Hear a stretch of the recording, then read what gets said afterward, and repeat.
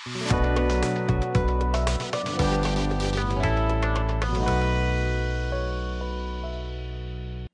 Factory ఛానల్ని మొదటిసారిగా చూసినట్లయితే సబ్స్క్రైబ్ చేయండి.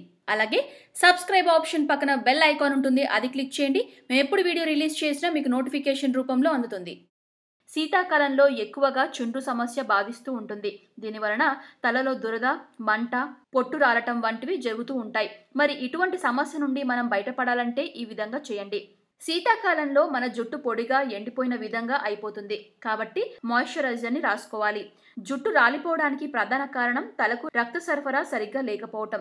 కాబట్టి తలస్నానం చేసే ముందు కనీసం ఒక ఇరవై నిమిషాల పాటు కొబ్బరి నూనెతో మసాజ్ చేసుకోవాలి.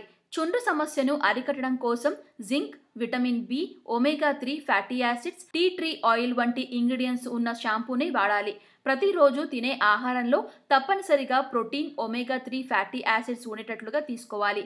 వారంలో కనీసం రెండు సార్లైనా కలబంద గుజ్జుని మాడకు పట్టించి ముప్పై నిమిషాల తర్వాత తలస్నానం చేస్తే చుండు సమస్యను అరికట్టవచ్చు. ఈ వీడియో మీకు నచ్చినట్లయితే లైక్ చేయండి షేర్ చేయండి మరియు మీ విలువైన అభిప్రాయాన్ని కమెంట్ రూపంలో తెలియజేయండి. వీడియో ఫ్యాక్టరీ ఛానల్ని మొదటిసారిగా చూసినట్లయితే సబ్స్క్రైబ్ చేయండి. అలాగే సబ్స్క్రైబ్ ఆప్షన్ పక్కన బెల్ ఐకాన్ ఉంటుంది అది క్లిక్ చేయండి. మేము ఎప్పుడు వీడియో రిలీజ్ చేసినా మీకు నోటిఫికేషన్ రూపంలో అందుతుంది.